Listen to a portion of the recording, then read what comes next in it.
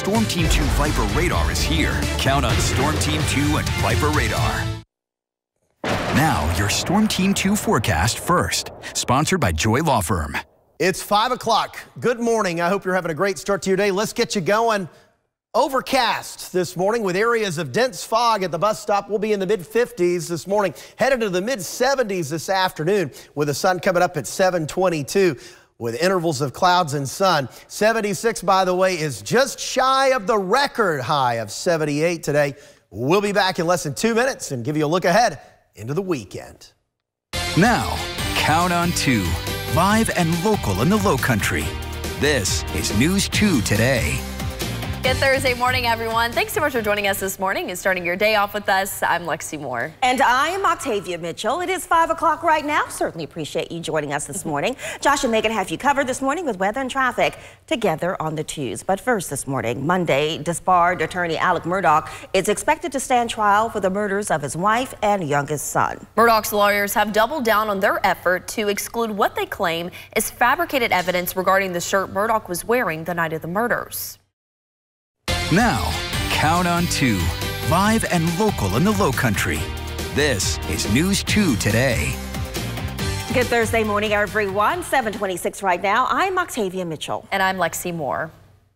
A mess on I-26 right now. Significant delays after an accident near Ashley Phosphate Road. We want to go straight over to Megan Fee this morning. Megan, drivers of several miles for traffic are stuck in this morning's rush hour. Good morning. That's right. Good morning, guys. Right now, this is the live look at the accident. It's right at mile marker 209, so near Ashley Phosphate Road in the eastbound lane. Looks like traffic is just starting to move, but we're still looking at about eight or nine miles of backup right now. So the fastest way to get around this is going to be to either take a Lincolnville Road or Highway 78, then take that all the way towards 52, get on the connector there, and then you're good to have back on I-26 right near Ashley Phosphate Road. If you do wait it out, though, you're looking at about a 75-minute drive from Summerville into downtown There's a live look at standstill traffic there at Ashley Phosphate Road. Good morning, Josh.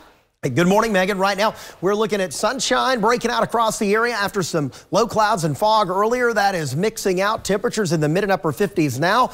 We're headed for afternoon highs in the mid to upper 70s. That's near record for today. The record is 78. Look for a partly to mostly sunny sky with a gusty southwest breeze developing this afternoon at about 15 to 20 miles per hour. Tomorrow, mostly sunny, comfortable in the upper 60s. Cooler Saturday, rain on the way Sunday.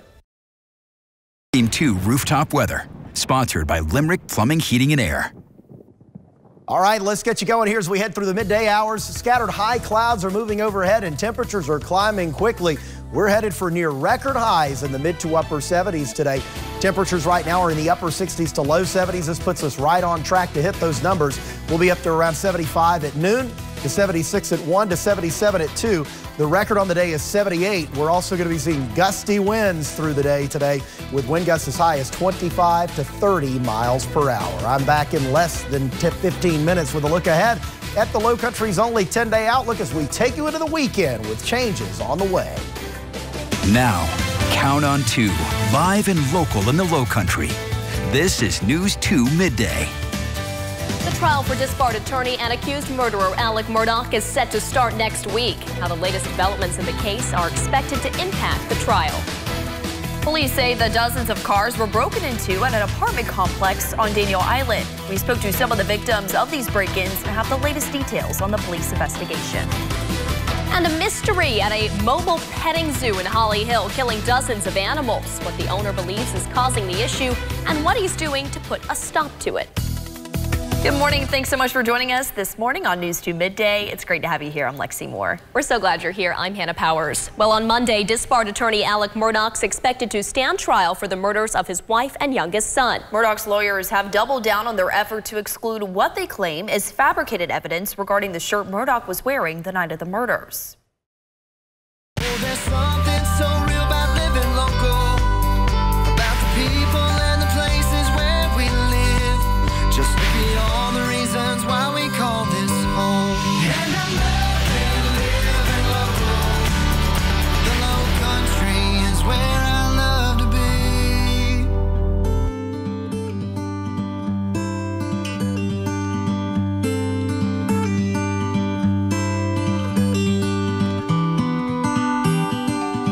All right, so I'm sitting down talking with Tommy McQueeney today.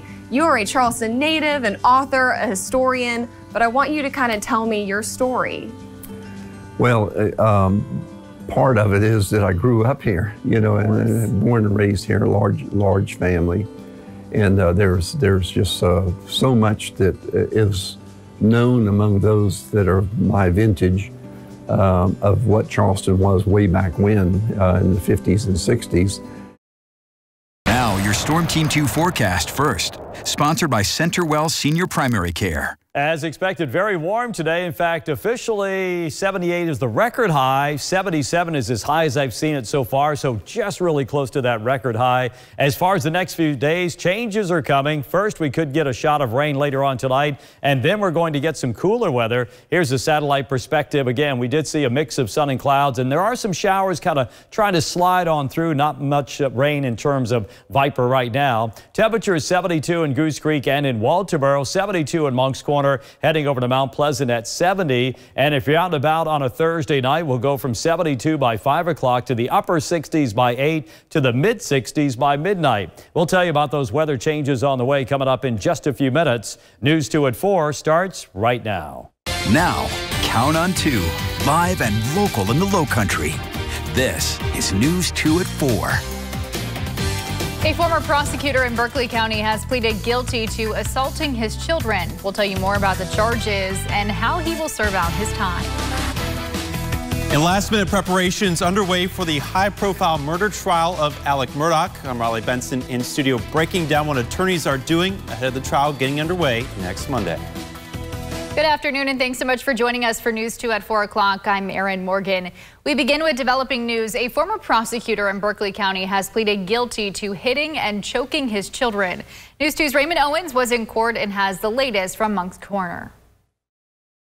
Now your Storm Team 2 forecast first.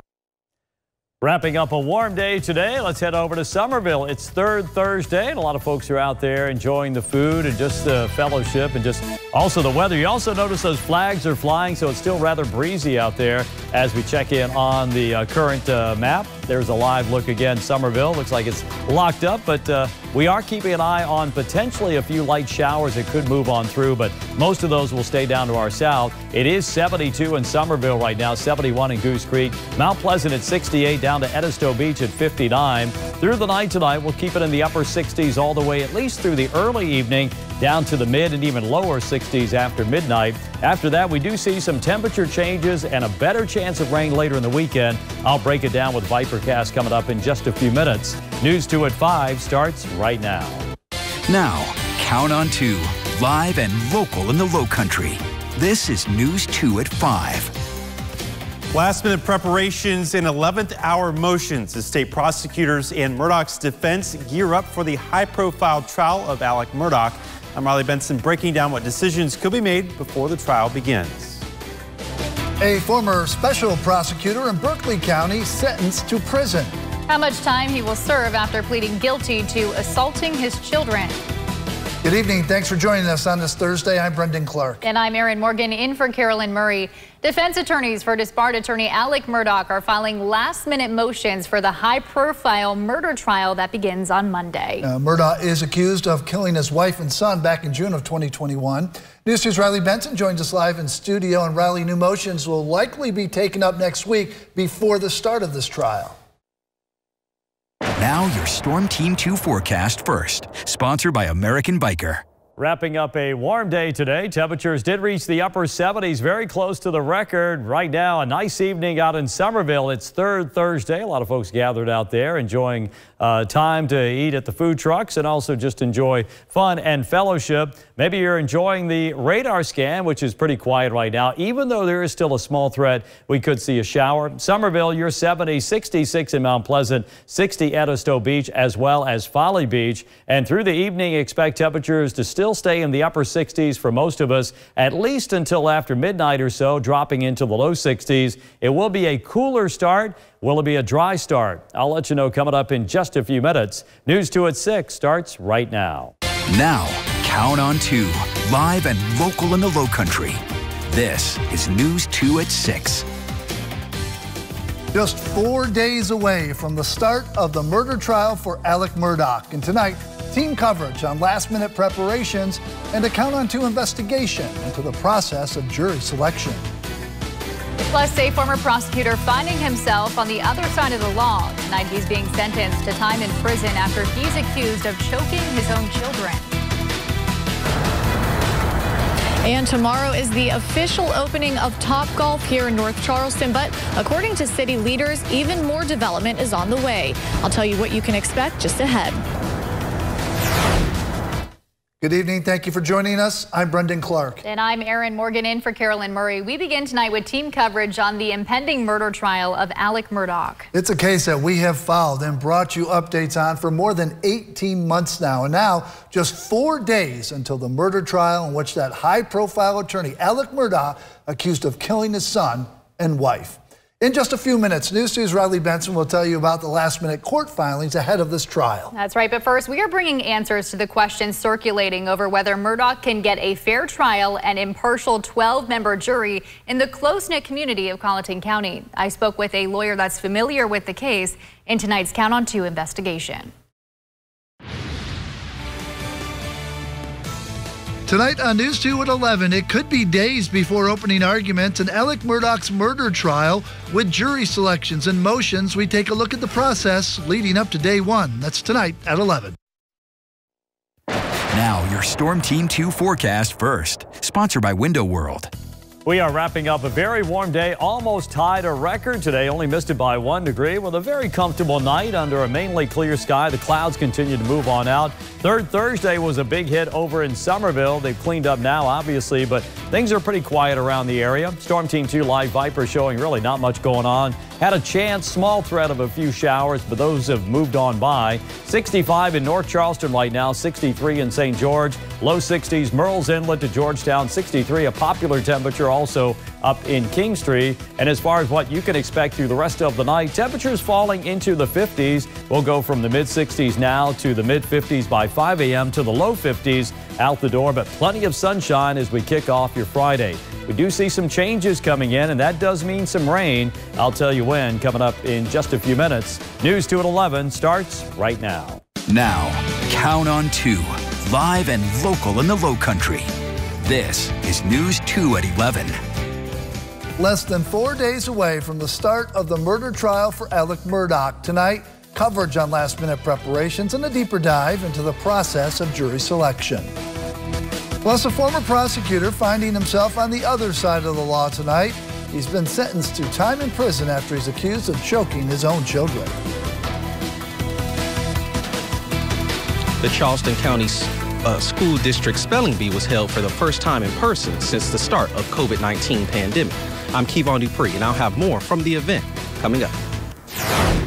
Good evening. Thank you for joining us. I'm Brendan Clark, and we begin tonight with team coverage on the impending murder trial of Alex Murdaugh. This is a case we have filed and brought you updates on for more than 18 months. And now, just four days until the murder trial in which the high profile attorney is accused of killing his son and wife. This is Riley Benson tells us about the last minute court filings ahead of this trial.